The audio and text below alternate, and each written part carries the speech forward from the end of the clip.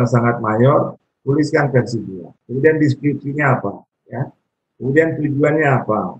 Kemudian manfaat apa sih dibuat ini? Kemudian sasarannya siapa yang akan menggunakan mobile apa mobile ads multimedia interaktif kita itu siapa?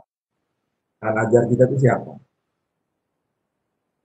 Anak SD beda dengan anak SMA. Dengan mahasiswa sangat beda. Untuk trainer perusahaan juga sangat beda juga. Dan toolnya apa? Kalau misalnya ada tool tambahan untuk buat video dan sebagainya, tuliskan di situ.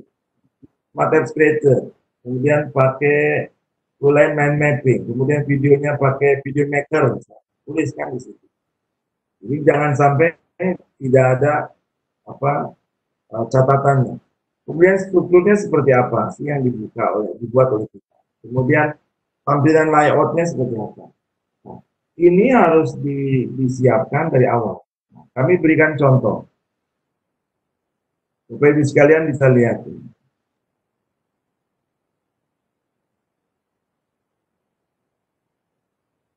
Kami sedang membuat rencana kita hari ini kita dalam membuat rencana oh, untuk membuat uh, wisata tour.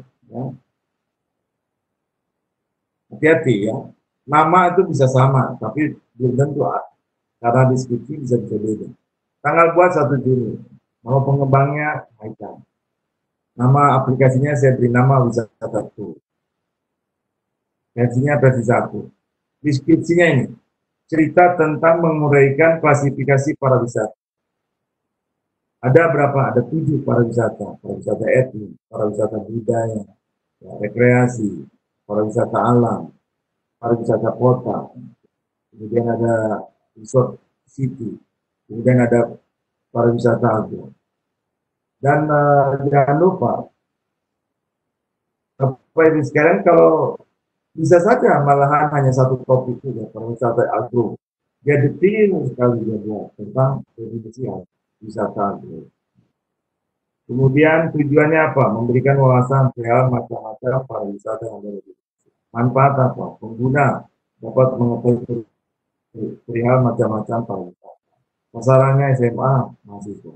Jadi Bapak Ibu sekalian ketika tuliskan sasaran begitu, sangat jelas ya. Layout akan berpengaruh, pilihan gambar akan berpengaruh. Jadi tidak mungkin Bapak Ibu sekalian menggunakan gambar kepada anak SD sama dengan mahasiswa. Nah, ini pun menjadi hal yang akan kelihatan dari tulisan-tulisannya. Toolnya Smart Edge Creator, ya. Main Master, Microsoft Word. Strukturnya seperti ini. Ada mobil klasifikasi, ada pengantar, ada klasifikasi para wisata, ada feedback. Ini level satunya, ada pengembang. Kemudian klasifikasinya, ada etnik, ini yang tadi, tujuh tadi. Terus ada di dalamnya apa saja? Ini kan bisa terus-terus. Kemudian nama filenya apa? Kemudian layoutnya ini. Ya. Jadi kalau memperhatikan layout, Bapak Ibu sekalian, yang diperhatikan bukan masalah ada gambarnya, tapi bagaimana cara meletakkan menunya, kemudian bagian bagian ini juga seperti ini kosong, ini jelas gambar ini. Ya kemudian teksnya di mana, kalau ada submenu ada di mana. Ini adalah layout yang dipilih. Dan kami menggunakan uh, apa template. Jadi uh, Bapak Ibu sekalian akan mendapatkan dua template ya, yang silakan untuk di explore, silakan dipakai dan sebagainya. Nah sekarang ini kan uh, pertama ya. Nah, sesudahnya Bapak Ibu sekalian mesti menyusun layout, menyusun apa? strukturnya.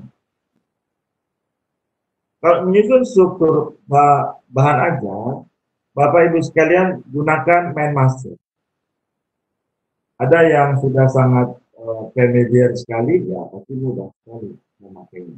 Dan uh, main master ini kalau didalami secara serius, banyak sekali fitur. Tapi kita tidak akan semua fitur karena keperluan kita kan hanya menyusun struktur. Bapak Ibu sekalian, khusus untuk membuat uh, bahan ajar ini, saya termasuk orang yang kebiasaan menggunakan yang jalurnya ke kanan, yang ini. Jadi bukan yang ini. Kalau yang ini yang membingungkan. Kalau enggak ya ke bawah. Atau yang seperti organisasi ke bawah. Dan kan saya sendiri adalah banyaknya memanfaatkan belakang. Yang belakang atas itu pasti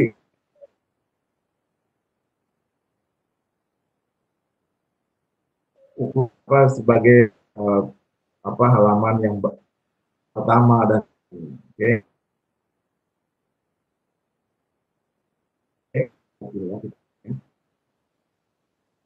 Terus mengklik itu tadi konsep di mapping sebenarnya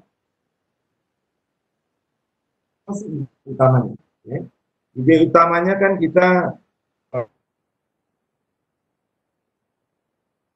yang tadi kita rencana ya, kata ya uh.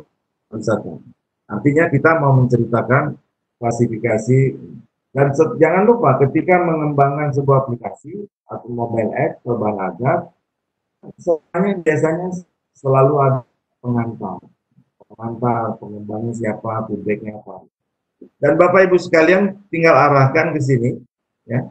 Di sini bisa ada tambah ada tanda ada apa tambah bisa diklik kanan. Jadi kalau ini, ini kan ada add ya.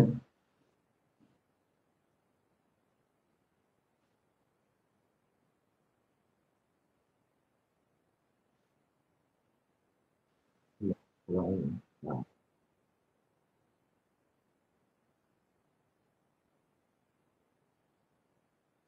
Ini ada function-function. Ya,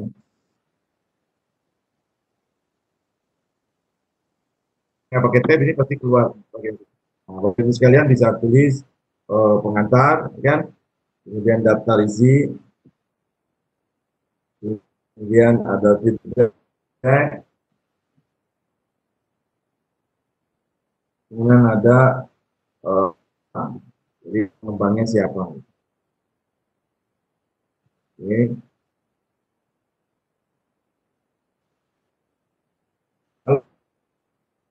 Kalau seperti kurang bagus tampilannya, kalian bisa memilih topik di sini.